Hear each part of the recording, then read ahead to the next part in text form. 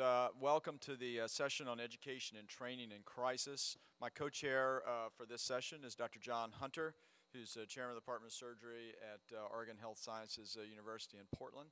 I think we have a, a great program planned with really a lot of tremendous speakers and people who are well-known figures in American surgery and education. And um, the, uh, the, if this is your uh, first session, uh, you can tweet your, or message your questions and they'll show up on the screen and we'll deal with the questions at the end of the session. Um, I, this is a critical time in education and training in our country. There have been so many changes that have taken place over the next few years, and this will be a little bit of a look at some of those and, uh, and perhaps some of the things that are coming ahead. So to start the session off, uh, I'm going to talk a little bit about uh, what we're doing to get senior medical students ready for surgical internship. Here are my uh, disclosures, none of which relate to the content of this talk.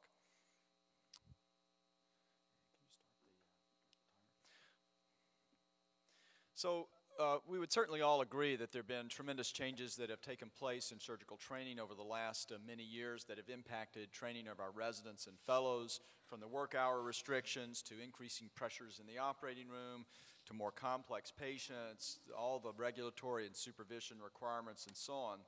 And so, uh, more than ever, the importance of surgical skills training outside the OR is clearly recognized. Now, medical students are often a ne neglected group. Um, and they, but they may suffer in skills development for many of the same reasons that residents do. And furthermore, uh, their skills development and, and, knowledge base may vary tremendously. Uh, certainly, there's been less time spent on general and other surgical specialty rotations over the last uh, several years. Our residents in their 12 week surgery block may spend four weeks on surgery, four weeks on a non operative musculoskeletal rotation, and four weeks on anesthesia. So they often get very little exposure in the third year.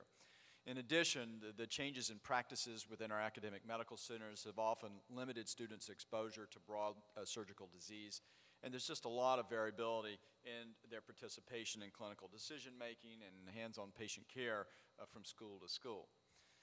Um, the current structure in the fourth year uh, really doesn't uh, lend itself in many respects for preparing these students. Uh, it's mostly an elective year. There are few, if any, actual requirements in the fourth year.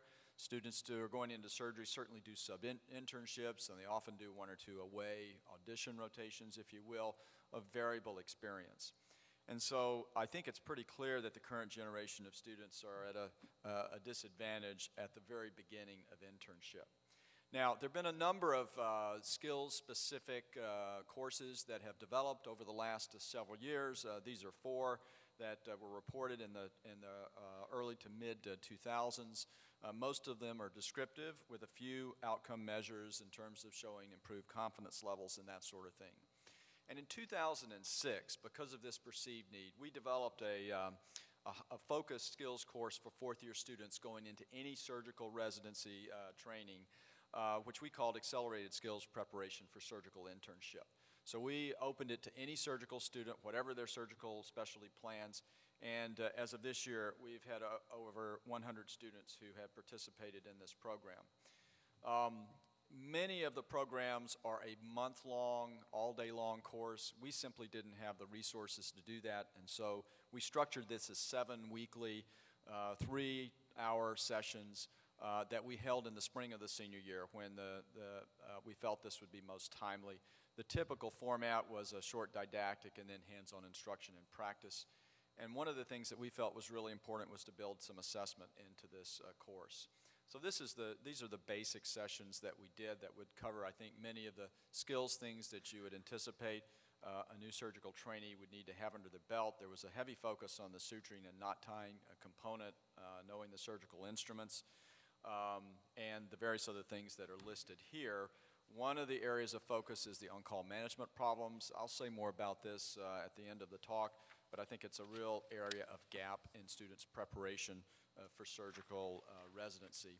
And then uh, one of the uh, sort of most popular features of the course was an animate lab, which we used to, for the students to bring together all of their experience at the end. They actually got to practice all of these techniques on live tissue, and we had them do laparoscopic access, a lap chole, then they open and close the abdomen, do intestinal resection. So they get to lot, do a lot of suturing, cutting, clamping, tying, and that sort of thing. Uh, the assessment piece is outlined here. I'm not going to go through all of this, but I want to show you just a couple of bits uh, from the course.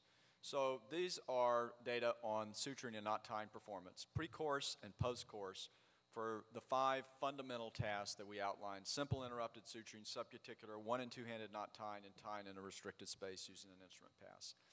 And the students' performance improved significantly on all five of these tasks from pre to post-course. I did, did not, don't have time to show the data, but we also did videotaped uh, assessment of performance and their technical proficiency skills improved consistently as well. And the thing that was uh, interesting is that when we compared these to end of R2 year residents, for three of the five tasks, the students' times were not significantly different from those of the residents. Uh, there were a couple that there were, um, and I think we can even approach this more closely, and we have some recent data showing that we're reaching that point across all of these um, time points when we really focus on a proficiency-based outcome performance.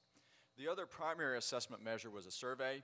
Uh, the uh, five domains that we looked at are listed on the left, and we rated them on a one to five. Students self-rated their, uh, their confidence levels on a one to five scale, from one being no knowledge to five being highly uh, confident.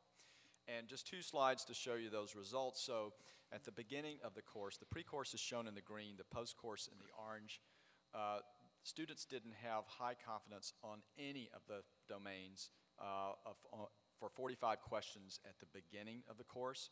Uh, but at the end of the course, they had a high confidence level in 50%, uh, and their confidence levels uh, were low and only in, a, in a relatively small percentage. And this just shows the average rise in scores from pre to post course and um, the number of questions where the scores improved significantly out of those 45 questions we asked.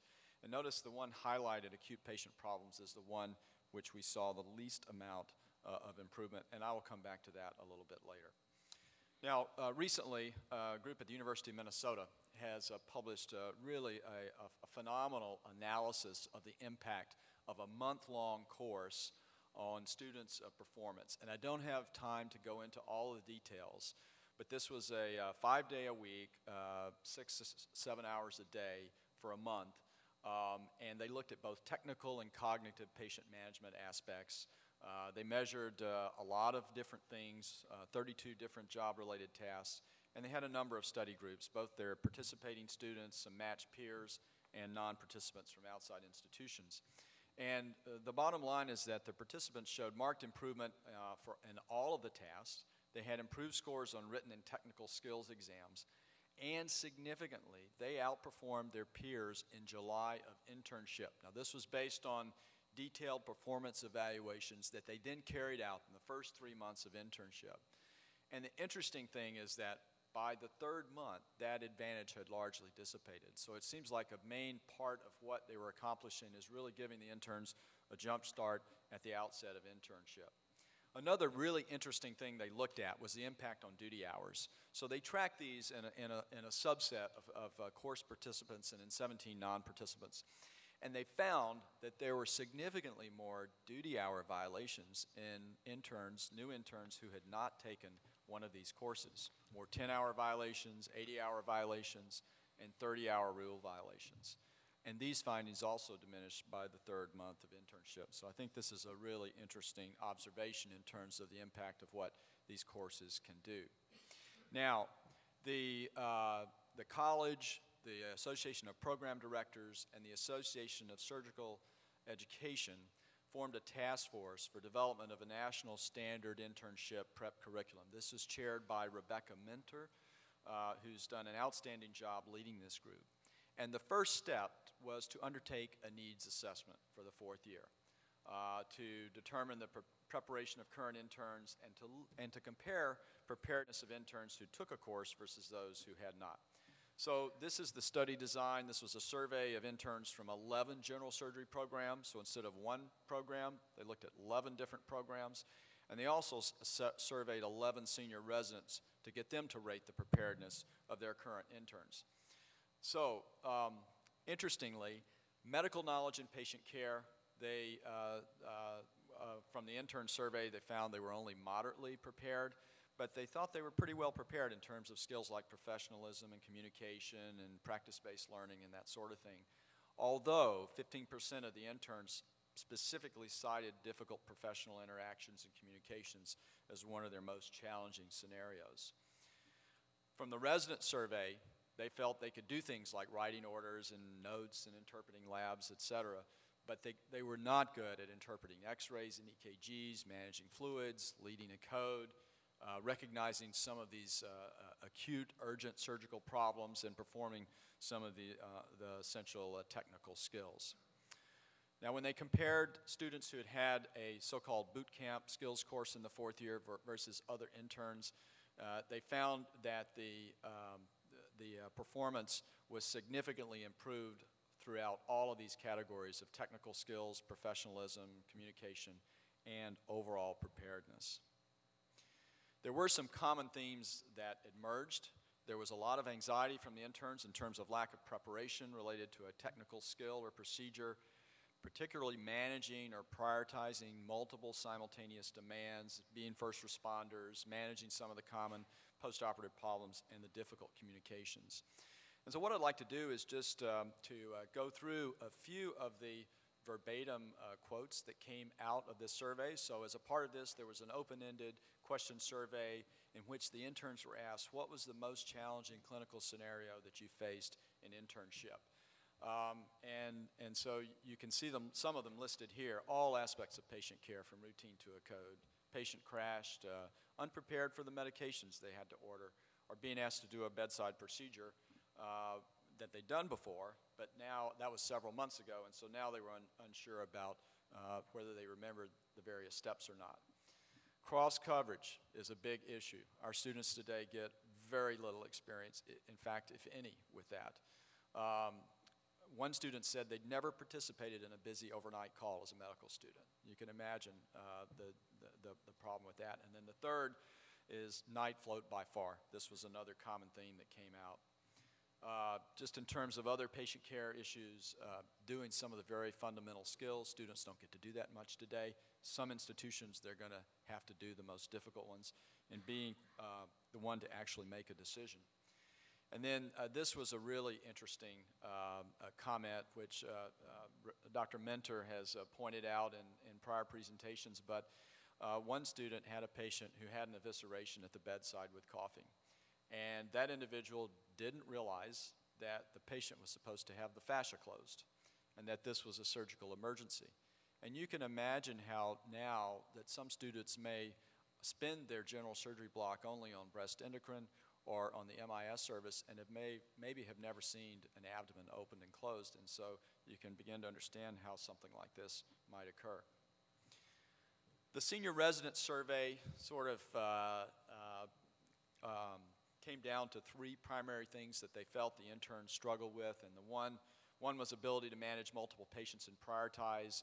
Second was to be a first responder and initiate workup for patients who are having acute problems. And then uh, communicating those findings to a senior uh, level resident, fellow, or faculty. Um, and these are data from our own survey of students taking our accelerated skills course at Washington University. And I think if you look at these numbers, you can begin to understand why our students are having a problem with some of these acute on-call problems and the issues of managing patients at night. Um, I've listed there, these are uh, survey results, and so self-reported number of call nights in the third year, maybe doesn't look too bad, but in the fourth year, students take very little night call at our institution, an average of around seven nights of call on a surgical service for the entire fourth year. Now, in order to begin to address some of these deficiencies, uh, this, uh, the college and the APDS and ASE have uh, developed a, a national skills curricu curriculum, as I've alluded to. The outline is uh, indicated here. This is a work in progress, but there's a tremendous uh, work that's been done by this group already. Uh, curriculum goals and objectives have been developed. Uh, there'll be a modular format for, the, for these. Uh, they're in the process of identifying the content for the objectives, and there'll be a web-based interface uh, for this curricular content. So this is going to be a tremendous resource for institutions and, and departments who are looking to develop these kinds of skills programs for their fourth year students going into surgery. So if I can just uh, summarize, I think uh, uh, that the current generation of surgical interns are not well prepared at the outset of residency. Uh, it's clear that skills training in the fourth year does result in improved performance, higher confidence levels, and uh, it appears improved performance during internship. But, there, uh, but this won't address all of the issues. There are a lot of deficiencies currently in the fourth year curriculum at most medical schools in the U.S.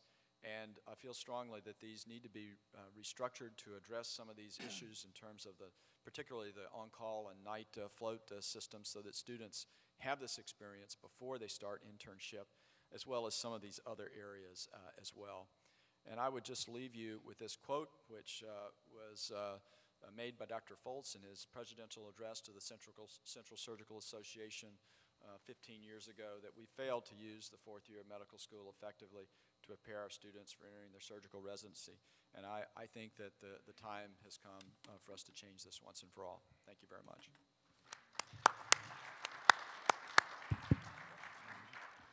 Well, thank you very much, uh, Dr. Brunt.